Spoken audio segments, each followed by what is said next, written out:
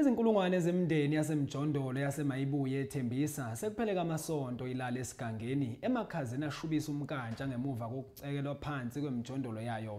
Imijondolo yalezi zakhamizi-ke kuvele ukuthi-ke yacekelwa phansi nguhulumeni esikhathini esingangenyanga esedlule ngemuva kokutholakala ukuthi yakhiwe endaweni kahulumeni.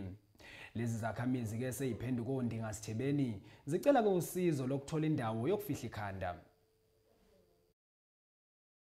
Babhekane nengwadla abahlali basemayibuye ethembisa ngemuva kokutholakala bebhidlizelwe izindlu zabo. Nalapho kwabikwa ukuthi-ke le ndawo abakhe kuyona eyikahulumeni labahlali-ke bathi isifiso sabo esikhulu ukuthi balekeleleke ukuthola indawo ephephile yokufihla ikhanda. Mina into lokhu isangihlalise lapha ukuthi a- anginamali yerenti yokuthi ngadinga indawo ngirenti le ndawo yokuhlambela nje. Ngathi konke nje kugoqela ukuthi ngithole imali yerenti ngiyorenti endaweni nje e-right. Konke-ke besokulungile hhayi angitholi igranti ngoba umntwana akazalelwanga la.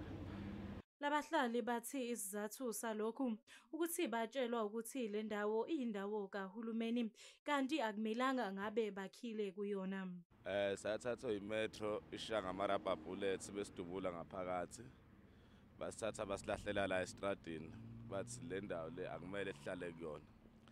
Sizibuze ukuthi awu le ndawo sesihlale kuyona u9 months sihleli.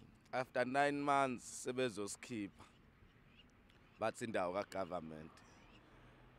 Sibuze ukuthi eh njengoba kuyindawo kagovernment eh ubani ugovernment obu government ithina abantu esivotayo asinawo amakhaya sisuka le ko KZN sazosebenza la seme sifike egoli yaphela imisebenzi.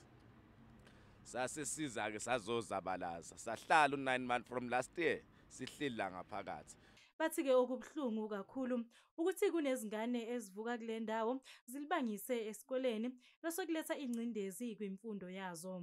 Besicela ukuthi ama a- ama amakhansela noma imeya isondele kuthina eduze kwethu. Zizositshela ukuthi kuyikho yini ukuthi sihlale la ngaphakathi u9 months bebuye iJNPD izolimaza abantu izoshaya abantu ngamarubber bullets omama sihlala nezingane la zilimele. Bathi-ke isifiso sabo ukuthola usizo kanye nokunakwa njengoba nabo bengabahlali baseningizimu afrika abavotayo. Kanti-ke lamakhaza njengoba sekuqale ubusika ayazitika ngabo. Ezindabeni zesoweto tv ngikunokulunga mthembu emayibuye ethembisa.